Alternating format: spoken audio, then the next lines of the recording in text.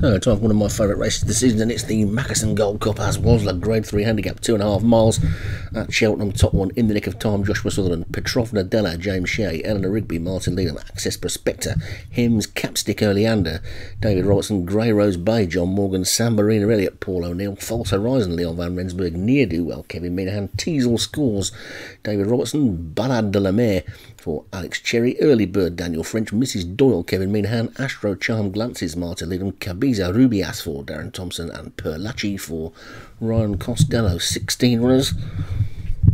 And away they go. The rain stopped. Skies are blue. And Ballade de la Mer is the leader. As they race down towards the first of 16 fences from Grey Rose Bay the Grey in second.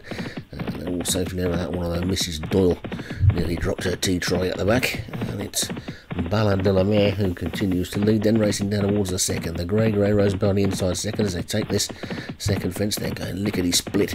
Uh, Mrs. Doyle and False Horizon are out the back. But Rose de la, uh, Rose de la Mer, Ballade de la Mer is the leader.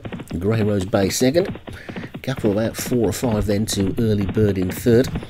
And Petrovna Della in the green. And right on the rail is Cavizas Rubias, Access Prospector with that one. Bit of a gap to in the nick of time. And then Near Do Well. And Teasel scores the second of the Greys with Perlachi and the other grey Astro Charm glances next as they skip over the third, and they're all still standing. San Marino Elliott, just the back marker. Eleanor Rigby nearer the back than the front as they take the fourth. And they're all over that one okay as well. Jumping okay, and they're going pretty quick.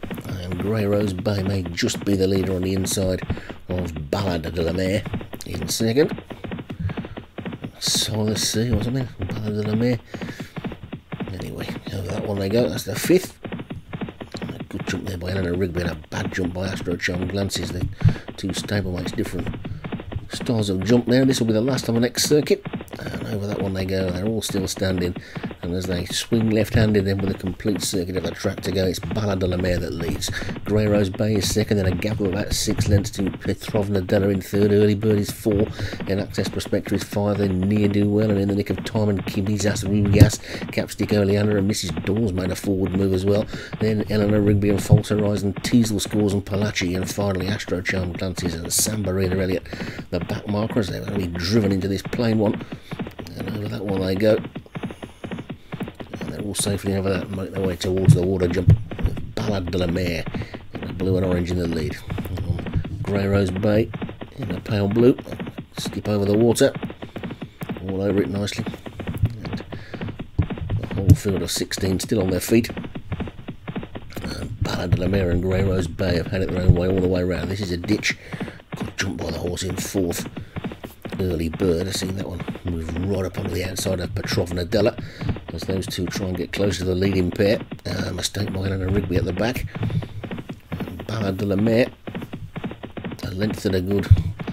Grey Rose Bay, a length up on Petrovna Della, then a gap of two to Early Bird and Access Prospector getting closer in the nick of time is on the inside of Near Do Well as they take that big ditch. That's number 11. And all safely over that one. Good jump by Palachi at the back as relegated Astro Charm Glances to back place. Ballade de la Mer by a head and a neck. They take the 12th.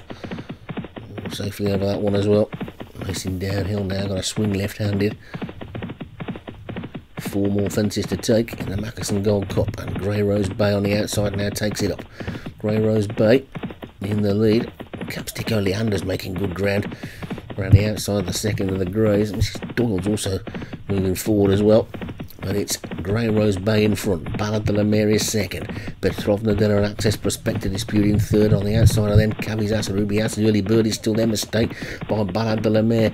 Uh, that one I see, that one shuffled back to third, but it's Grey Rose Bay who might be going for home, Access Prospector chasing hard, and on the outside comes Capstick Oleander, that one looks like big danger, so too does False Horizon is also starting to get going, Eleanor Rigby's trying to get into it as well, there's plenty in the chances, and it's Grey Rose Bay and Capstick Oleander, the two In the lead.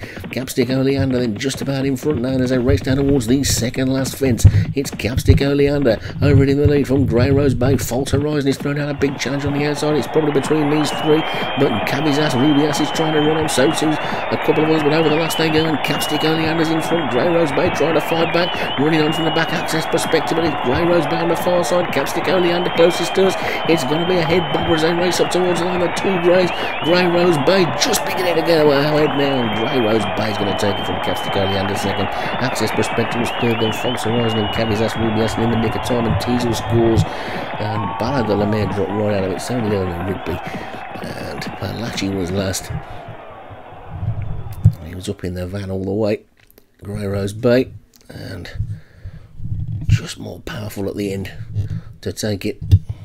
And Grey Rose Bay it for John Morgan. Capstick Oleander for David Robertson was third. Access Prospector for Hems was was third.